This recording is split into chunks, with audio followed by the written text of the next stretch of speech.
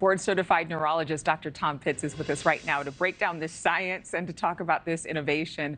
Okay, you've got all of this excitement and promise, but let me let me just get to what we heard right there. That he literally thinks and then the cursor is connected to that Neuralink chip in his brain. I mean, it's giving new meaning. He said he read a devotional every day, so he's clearly a man of faith. And there's a proverb in the Bible that says, As a man thinketh, so is he. So is science starting to really show evidence that the way we think impacts our entire environment and how much control we have over it?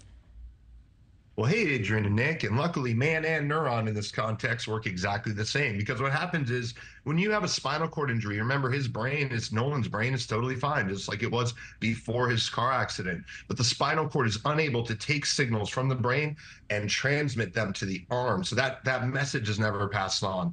So what happens is if I tell Nolan, hey, think about moving, let's say, your eyes to the right. Or imagine, let's say, better example, moving the cursor to the right just for simplicity's sake, let's say the nerve goes one, two when he wants to look right.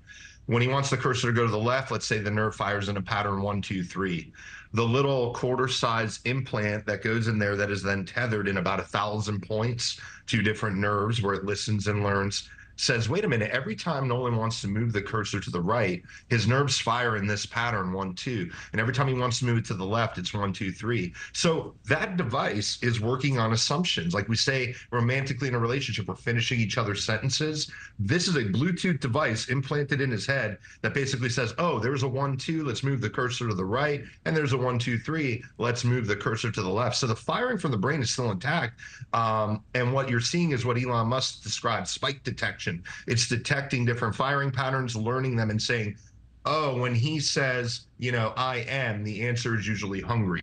So it is filling it in based on repetitive um, um, calibration, uh, is- calibration, and then making the arrow move on the screen. Okay, I, I, have a question. I haven't looked into this particular part of the research. Is this artificial intelligence? Is it linked to that? Or is it only using the power of the human brain to become, I guess, machinized, if that's the right way to say that word?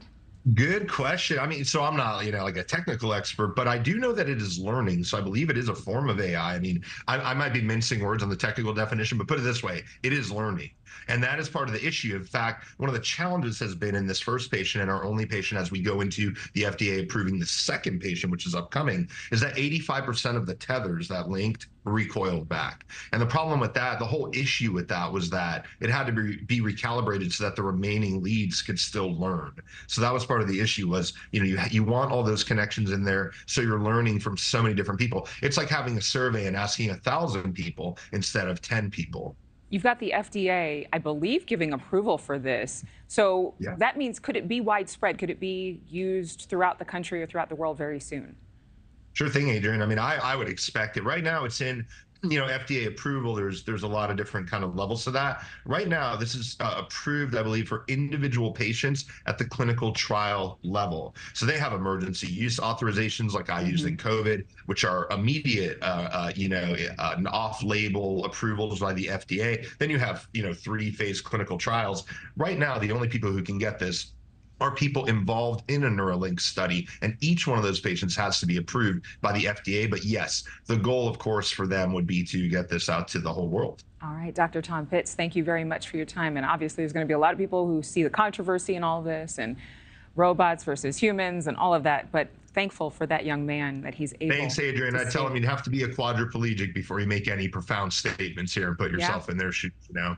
Well, and and that's the thing is that so many people are going to be wanting that technology for themselves, that innovation. But, you know, again, science. We've got to see what happens next. Thank you so much. Thanks for watching, everybody. Go to joinnn.com to find NewsNation on your television provider. Also, don't forget to click that red subscribe button below to get more of NewsNation's fact driven, unbiased coverage.